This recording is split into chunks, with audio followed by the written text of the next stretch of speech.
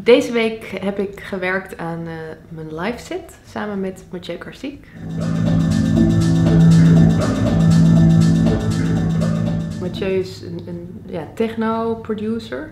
Dus die maakt hele andere beats dus dat ik zelf um, zou, um, zou bedenken. En ik vind het eigenlijk heel erg leuk werken, want daardoor uh, worden mijn tracks dansbaarder en op een andere manier ook benaderd.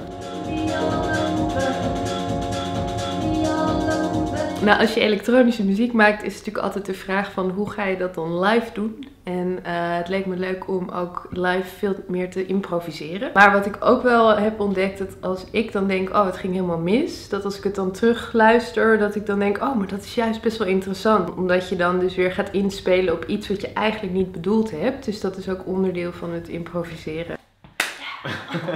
Als je het hele liedje wil horen, ga dan naar de link hierboven of hieronder.